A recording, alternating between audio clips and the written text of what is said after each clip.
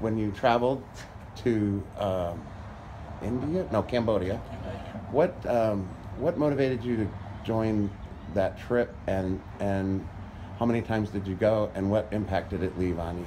So during my hiring process, I remember uh, Jason and Jennifer saying, you know, oh, we can't interview you just yet because we're going to Kenya, and I was like, Yeah, what? can- what the heck? Like, who are you? Why are Right. you going off to Kenya?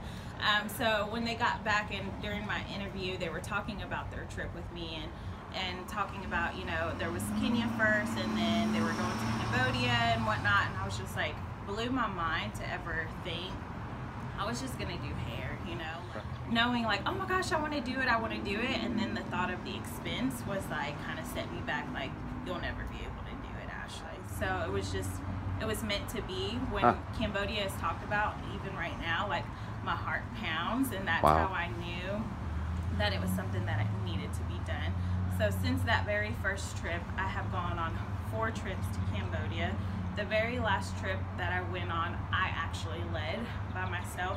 Usually Jason and Jennifer go, so we have like mom and dad to lead the pack. Right. So they needed to step back and someone else Ah. needed to take lead, and they were like, you know, gave some people some options, and I just said, let me pray on it and see if this is God's will and not my own. Because selfishly, I'm like, heck yeah, right. you know. So this I- was how many times have you been? Had you been? was- I had been three times. Three already. times. Okay, so this is the fourth. The fourth time. So I went and I led a group of, I think it was seven of us.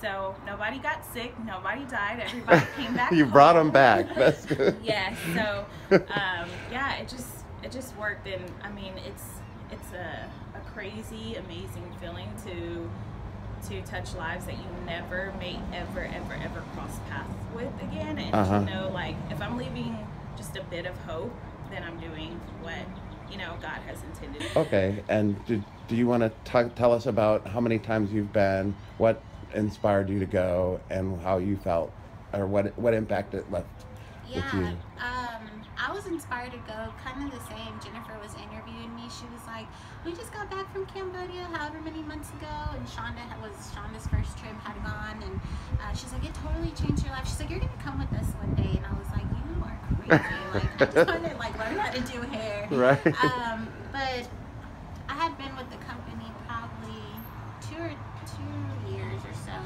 Um, we've gone on three trips together. Um, each trip was super different, but super awesome. And I think those girls taught me more than I could ever teach them.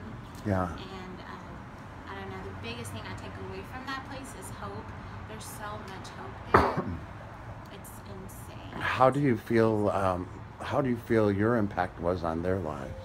um, I think we gave them hope as well, and we gave them like, like the kind of hope they gave me was different. The kind of hope we gave them is like they can be successful and they're worth way more than they ever imagined. Could you could you see that change manifesting in their lives while you were with them? You could. It's really crazy I- to watch. I think the biggest thing is that they were um, seen.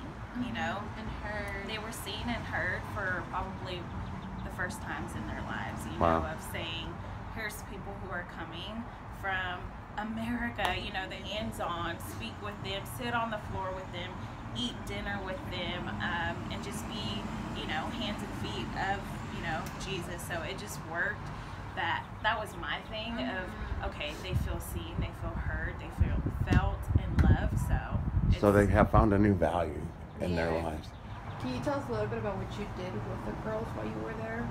Yeah, so we were there uh, initially just to teach vocational training and teach them how to cut better, color better. Um, they don't have really any training, so that's what we were there for. But then we end up, you know, building relationships with these girls who we watch get married on Facebook, Wow. stuff like that. So, So yeah, they have- initially it's just hands-on type thing. They have a salon, or in Cambodia where we went was um, called Open Arms. So they have a salon and then they have a school too. So they train these girls um, who are funded by NGOs that have been pulled or rescued from any uh, difficult situations. Um, and we were to go over and train uh, the school and train or train the main trainers in the salon that were actually doing services on clients. What's an NGO? a non-government organization. Okay.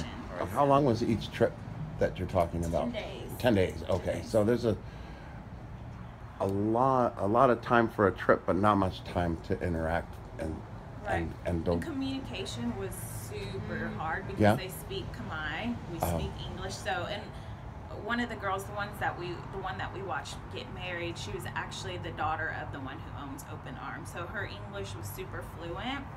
So she would be our communicator and some, but it was super difficult when you have 20 plus girls that you're training and one um, translator who is also servicing clients at the same time. So it's like, Shrina, Shrina, you know, hey, we need you and stuff. But I mean, the, the beauty of the hair industry, I mean, you can watch each other's hands and, you know, show how to do foils and color and whatnot. So that way, yes, we weren't using words, but we, we got each other. You have your own language. Yeah. Awesome. Thank you. Thank you. Thank Thank you you so much.